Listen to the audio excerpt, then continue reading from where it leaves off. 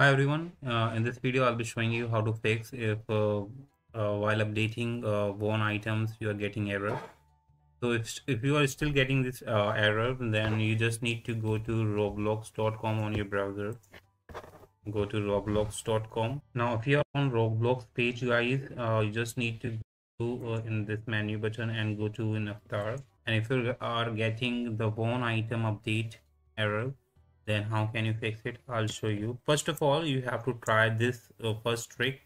You, you, once you um, if you have bought any item like and if it is not updating just uh, tap on this redraw option.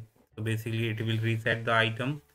And so basically if you are not if your uh, item is not updating you can try this out. It always works if you are getting such error so you just need to go to a head and body go to uh, classic face and try to wear any classic face you have. After uh, using classic face uh, your um, item will be updated. It's 100% sure and uh, if you try this trick it will always it always work and I, uh, some uh, people are getting this error. So they did the same thing and they just select the classic face and their worn item has been updated so you just need to use this trick and if it works let me know in the comment section.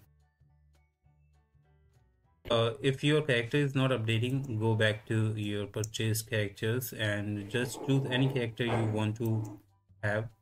And if it is not updating uh, like my update my avatar is updating but if it is your not um, your avatar is not updating what you need to do uh, you just need to tap on this redraw option to update or reset uh, your if it is not loading correctly. And uh, if it doesn't work then you just need to go to head and body and go to classic face and just tap on any classic face and your problem will be solved. Click you or choose using this uh, classic face in the head and body. Fine.